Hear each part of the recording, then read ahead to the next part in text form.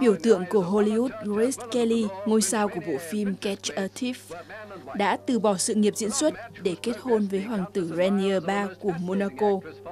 Lễ cưới của họ đã được tổ chức vào ngày 18 tháng 4 năm 1956, sau khi cặp đôi gặp nhau tại Liên hoan phim Cannes một năm trước đó. Công chúa Nhật Bản Takako Suga con gái út của nhà vua Hirohito, đã kết hôn với chuyên gia phân tích tài chính Hisanaga Shimazu ở Tokyo vào năm 1960. Cô đã từ bỏ danh hiệu hoàng gia của mình để trở thành một người bình thường, chấp nhận theo chồng và trở thành Tanaka Shimazu.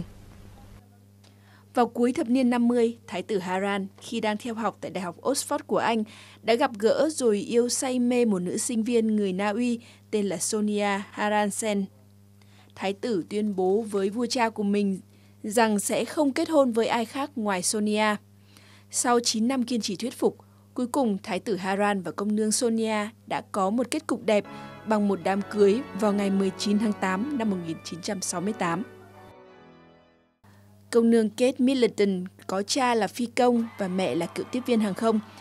Kate gặp hoàng tử William của Vương quốc Anh tại Đại học St Andrew ở Scotland vào năm 2001 Họ kết hôn vào ngày 29 tháng 4 năm 2011 và công nương Kết trở thành người dân thường đầu tiên trong hơn 350 năm kết hôn với một hoàng tử sắp kế vị ngai vàng của Anh.